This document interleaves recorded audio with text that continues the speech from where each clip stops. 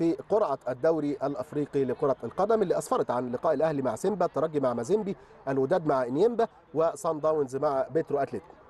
كل التوفيق للنادي الأهلي. أدي كرة ملعوبة هناك ناحية شمال وإسلام عبد الله بيلعب كرة عرضية خطيرة ومحاولة وممكن وفرصة. وبالفعل بالفعل أحمد أشرف يفتتح يعني سجل تهديفه هذا الموسم ويضيف الهدف الأول ليه والثالث للنادي الأهلي في مباراة اليوم أمام الجونة. أحمد أشرف هداف الموسم الماضي اللي كان سجل ست أهداف يعود هذا الموسم ويقص شريط الأهداف بالنسبة ليه على المستوى الشخصي ويسجل الهدف الأول ليه والثالث للنادي الأهلي في المباراة علشان يتقدم الأهلي بالهدف الثالث على الجونة في مباراة اليوم.